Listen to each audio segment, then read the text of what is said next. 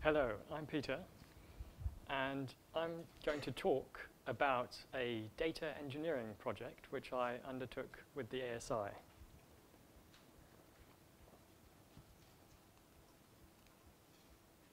The background of this project is Sherlock ML. Sherlock ML, to briefly introduce it, because I'm aware there's going to be some additional information later on, is a unique platform that was developed by the ASI and which allows data scientists to do data science on the cloud. That means you can open a browser, you can conduct an entire data science project from start to finish only using the browser. That's clearly a powerful thing. One of the aspects which Sherlock ML aims to make life easier for data science and data scientists relates to the aspect of data exploration.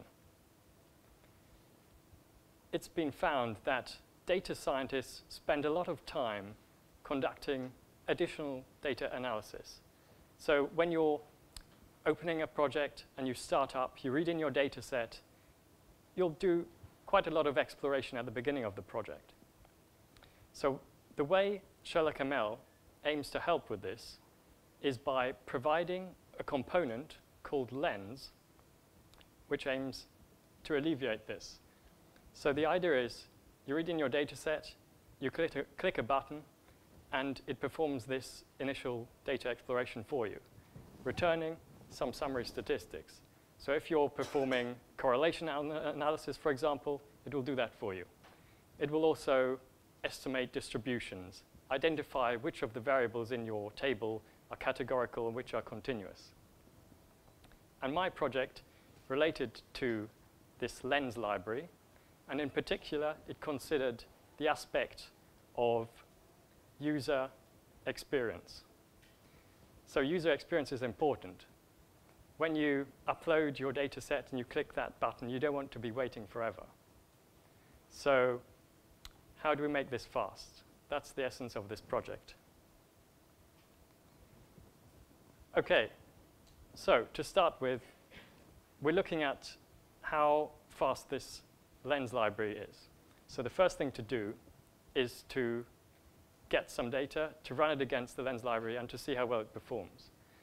And what we see is it performs reasonably quickly for relatively small data sets. But looking towards the bottom, for a medium-sized data set consisting of 5,000 or so rows with 53 columns, well, 22 minutes, that's perhaps not so ideal.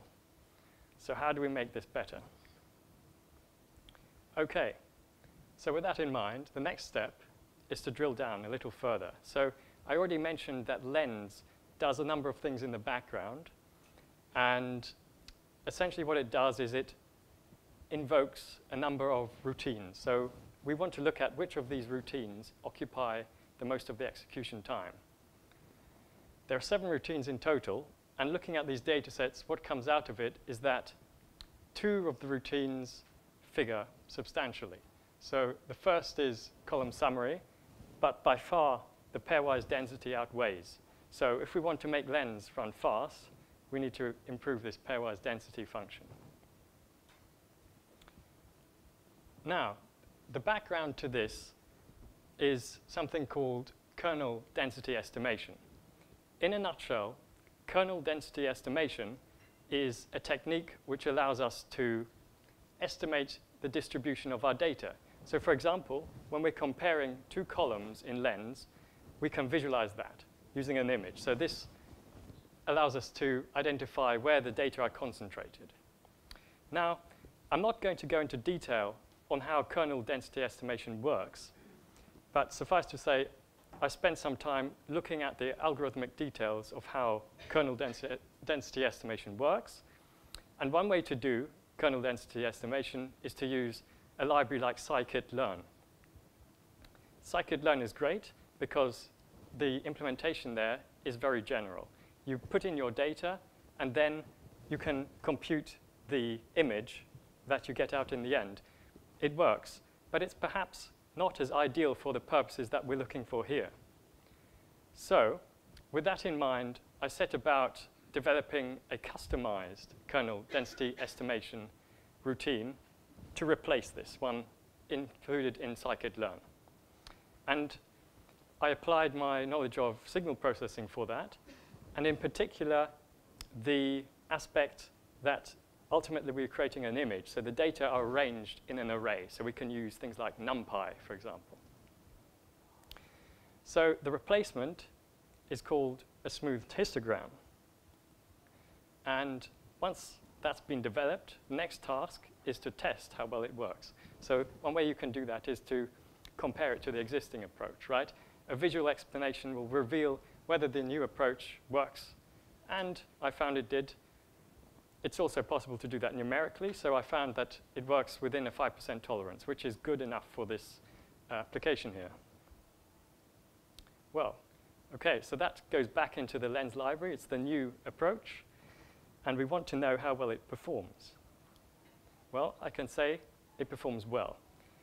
In general, it has a lower computational complexity. That means that as you scale the size of the data set up, you'll probably get larger gains in execution time. And for this largest data set, which I mentioned earlier on, it goes from 22 minutes to about two and a half minutes. Okay, so to briefly conclude, this project looked at the performance of the lens library, which is a part of the Sherlock ML platform. And in particular, it considered the pairwise density estimation problem. As part of that, I looked at it as an alternative solution based on smooth histograms, and that approach works well. It's a replacement for the original approach. And that, in turn, improves the user experience. Thank you very much.